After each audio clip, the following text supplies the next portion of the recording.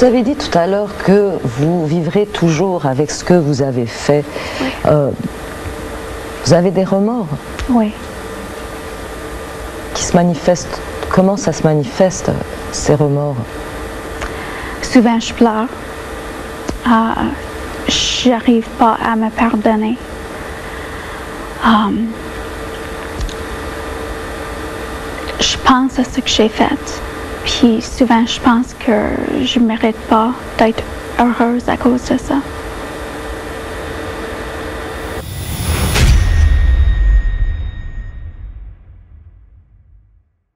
Eles ficaram conhecidos como a Barbie e o Ken do crime, mas o mundo que eles criaram não tinha nada de cor-de-rosa. O Bernardo era uma criança feliz que vivia sorrindo, loirinho, de olhos claros. O menino canadense parecia ter saído de um comercial clichê de margarina, sempre com seu humor inabalável. Porém, tudo desmoronou em sua vida ainda na adolescência quando Paul descobriu que o pai dele, Kenneth, foi acusado de abuso infantil e de molestar a sua própria filha, a irmã de Paul. E depois que a mãe do jovem, Marilyn, confessou que ele era fruto de uma relação extraconjugal, ele começou a odiar sua mãe e passou a ter raiva pelas mulheres. Paul, na época, tinha 16 anos. Aquele adolescente alto, loiro, de olhos azuis e porte atlético nunca mais foi o mesmo. No fim da década de 1980, Paul passou a demonstrar um desprezo tão grande pelas mulheres que começaria ali sua jornada que o tornaria conhecido como Ken Assassino.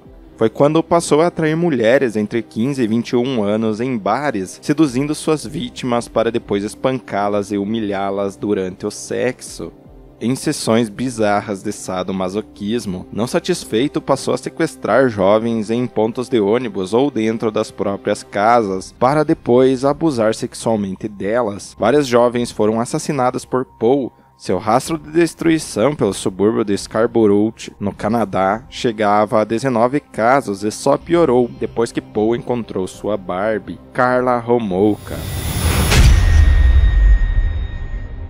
A vítima, então, Carla, se tornaria sua maior cúmplice. Paul tinha 23 anos e Carla 17. Descrita como uma garota normal, bonita, esperta e popular, Carla gostava tanto de animais que chegou a trabalhar numa clínica veterinária quando se formou no colégio. O mesmo apreço com os animais, porém, não demonstrava pelas vidas humanas.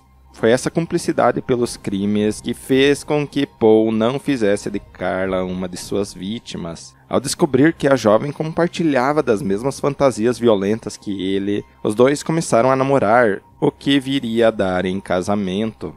Algumas das vítimas de Paul chegaram a prestar queixa na polícia e o criminoso foi interrogado duas vezes, mas liberado pela polícia. Como já vimos com Ted Bundy, a aparência dele o ajudou muito.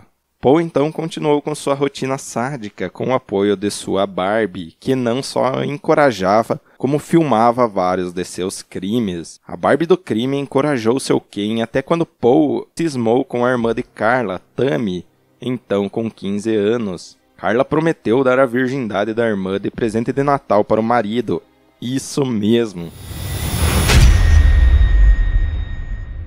Para isso, usou tranquilizantes roubados da clínica veterinária onde trabalhava. Com a jovem desacordada, os dois ligaram a câmera e passaram a abusá-la sexualmente. Tam então foi intoxicada e acabou morrendo asfixiada pelo próprio vômito. Os dois correram para limpar a cena do crime e, incrivelmente, se safaram. A morte de Tammy foi atestada como por overdose de álcool. A partir desse momento, eles continuaram a sua jornada de perseguição e estupro de várias jovens em Scarborough. A jornada sádica do casal só começaria a ter um fim em 1992, quando a polícia canadense finalmente ligou outros dois assassinatos de jovens com as mesmas características ao mesmo responsável. A partir daí, retomaram vítimas anteriores e começaram a ligar os pontos, decifrando o modus operandi que eram muito similares e padrões em todas as vítimas. Fizeram então um retrato falado e receberam inúmeras denúncias que alertavam sobre o apreço de Paul pela violência. Mas antes de serem capturados, Paul e Carla chegaram a se separar depois que ele a espancou. Dois meses depois, uma amostra de DNA de Paul se mostrou compatível com a do famoso estuprador de Scarborough, levando a polícia a finalmente seguir seus passos de perto. Eles foram presos e, a julgamento, Carla então fez um acordo judicial e testemunhou contra o ex-marido, de quem se disse mais uma vítima. A justiça contou que Paul Bernardo disse ter estuprado pelo menos 30 mulheres, com a confissão, Carla pegaria apenas 12 anos de cadeia, mas a descoberta das fitas com as gravações dos crimes do ex-casal mudou os termos. A Barbie deixaria de ser uma vítima e passou a ser vista como uma mulher sádica que era e uma cúmplice dos crimes violentos de Paul.